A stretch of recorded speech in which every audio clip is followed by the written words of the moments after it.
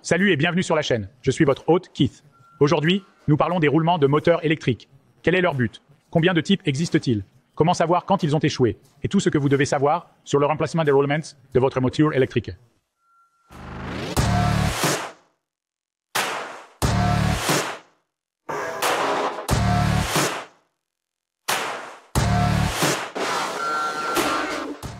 D'accord, sautons dedans.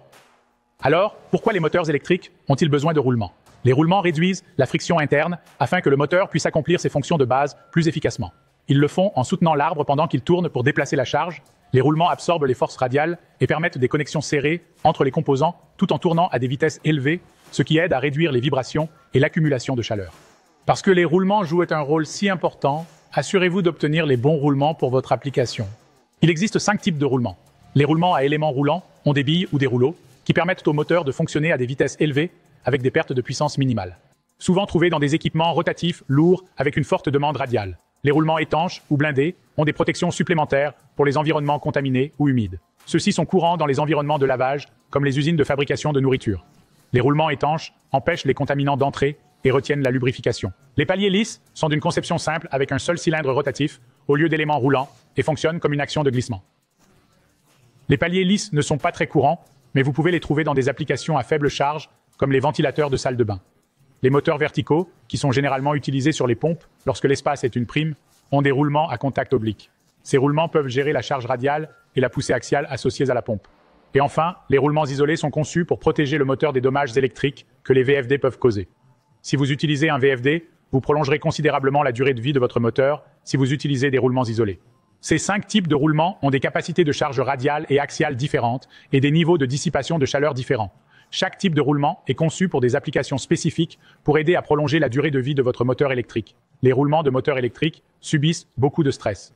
Et pourtant, malgré le travail acharné et le stress qu'ils endurent, des roulements correctement entretenus devraient durer de nombreuses années. Alors, pourquoi les roulements sont-ils la première raison de l'échec des moteurs électriques? Il y a quelques raisons pour lesquelles les roulements peuvent échouer prématurément.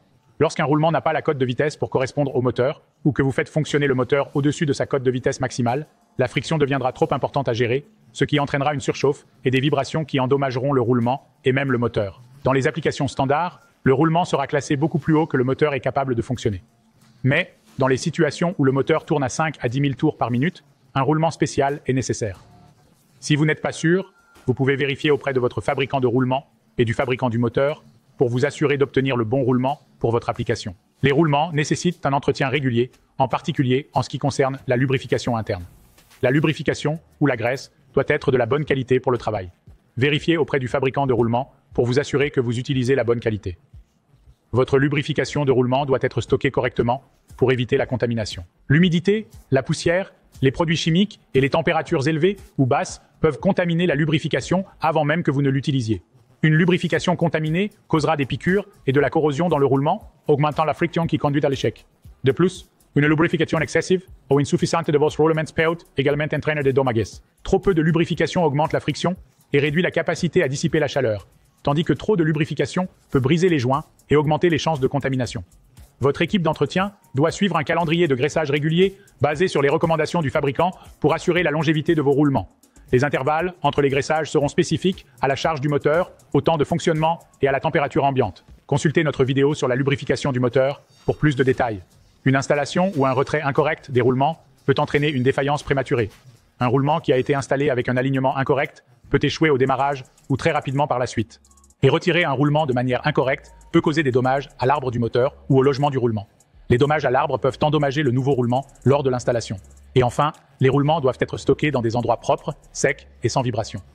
Les roulements sont assez fragiles en dehors de leur utilisation prévue. Vous devez prendre grand soin de ne pas endommager votre roulement avant même qu'il ne soit installé. Il y a quelques façons dont les choses peuvent mal tourner rapidement en ce qui concerne les roulements de moteurs électriques. Alors, comment savoir quand un roulement a échoué? Lorsqu'un roulement est en train de tomber en panne ou sur le point de le faire, il y aura une augmentation du bruit, des vibrations et ou de la chaleur excessive pendant le fonctionnement du moteur. Les roulements peuvent être surveillés et testés à l'aide de méthodes d'analyse sonore et de surveillance des vibrations. Ceux-ci se présentent sous la forme d'équipements électriques qui peuvent écouter et sentir le roulement pendant que le moteur fonctionne. Il est assez rare que la personne moyenne en charge de l'entretien dispose de l'équipement, mais on voit l'analyse sonore et les vibrations dans les plus grandes usines. Vous pouvez également tourner manuellement l'arbre du moteur en sentant comment il se déplace en douceur. Toute résistance ou bruit de grattage indique que le roulement est en train de tomber en panne. Maintenant que nous savons que notre roulement a échoué, il est temps de trouver un remplacement. En regardant notre ancien roulement, nous pouvons trouver un numéro de pièce sur la surface. Lorsque nous tapons ce numéro dans la barre de recherche intelligente sur emotorsdirect.ca, nous pouvons voir nos options de remplacement, leur coût et où ils sont situés au Canada. Si votre roulement est vieux et couvert de corrosion, vous ne pourrez peut-être pas localiser le numéro de pièce. Nous allons donc jeter un coup d'œil à notre plaque signalétique sur notre moteur. Étiqueté comme DE pour l'extrémité d'entraînement et NDE pour l'extrémité non d'entraînement, nous voyons le numéro de pièce pour le roulement. Nous pouvons mettre ce numéro dans la fonction de recherche intelligente sur emotorsdirect.ca, tout comme le numéro directement du roulement. Si tout le reste échoue, contactez nos experts techniques. Basés à Edmonton, en Alberta, ils sont disponibles par téléphone ou par courriel du lundi au vendredi pour vous aider avec vos projets de moteurs électriques. Une fois que votre nouveau roulement arrive, il est temps de remplacer l'ancien. Voici votre processus étape par étape pour remplacer vos roulements de moteurs électriques. Étape 1. Prévoyez beaucoup de temps pour terminer le travail. Le remplacement d'un roulement peut prendre aussi peu que 2 heures sur les moteurs plus petits et jusqu'à 10 heures sur les moteurs plus grands et plus lourds. Remplacer les roulements peut être une tâche difficile. Se précipiter peut augmenter vos chances d'endommager le roulement ou votre moteur. Étape 2. Préparez votre espace de travail en vous assurant qu'il est propre et sec. Vous pouvez même porter des gants stériles pour vous assurer de ne pas endommager ou contaminer le roulement. Vous ne voulez pas avoir de sable ou de saleté sur le roulement, car cela pourrait ralentir ou bloquer complètement les roulements. Étape 3. Déconnecter l'alimentation du moteur et démonter en retirant les couvercles d'extrémité et l'ensemble du rotor.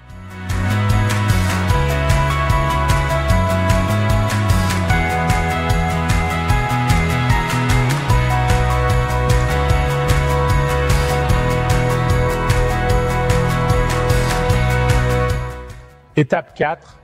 Retirer l'ancien roulement à l'aide d'un extracteur de roulement. Cet outil aide à répartir la force de manière uniforme et à réduire le risque d'endommager l'arbre du moteur. La rouille de surface aidera à maintenir fermement le roulement en place, donc la patience est essentielle. N'utilisez jamais d'outils électriques pour couper le roulement, car vous risquez d'endommager l'arbre du moteur ou le logement du roulement. Cinquième étape, inspectez l'ancien roulement pour déterminer la cause de la défaillance. Y a-t-il de la corrosion? Le lubrifiant est-il sain ou contaminé? Lorsque vous savez pourquoi l'ancien roulement a échoué, vous pouvez faire des efforts pour maintenir le nouveau roulement afin qu'il dure longtemps. Parfois, vous ne pouvez pas voir la cause de l'échec lors d'une inspection visuelle. C'est bien, et le roulement doit toujours être remplacé, car même un petit échec peut entraîner de grandes conséquences. Étape 6. Nettoyez l'arbre du moteur, les boîtiers, les supports et les rainures de clavettes, et enlevez toutes les échardes ou bavures sur l'arbre du moteur avec une lime ou une polisseuse. Le nouveau roulement doit être installé sur une surface propre, lisse sans corrosion et sans contamination pour éviter de l'endommager avant même que le moteur ne démarre. Septième étape, inspectez le nouveau roulement pour détecter tout signe évident de dommage dû à la fabrication, à l'expédition et au stockage et assurez-vous qu'il a une lubrification adéquate. Étape 8, chauffez le nouveau roulement avec un appareil de chauffage à induction pour roulement. Les roulements sont conçus pour s'adapter exactement en place avec des tolérances seulement dans les 10 millièmes de pouce, ce qui signifie qu'il peut être très difficile de le mettre sur l'arbre du moteur. Étape 9. Utilisez un kit d'installation de roulement avec un marteau à percussion morte et une douille à impact pour installer le nouveau roulement dans le moteur. Vous pouvez également utiliser une presse à arbre, mais l'alignement est essentiel. Un roulement mal aligné échouera probablement au démarrage du moteur. Étape 10. Enfin, remontez le moteur et testez-le à charge nulle en ressentant les vibrations et en écoutant tout bruit inattendu.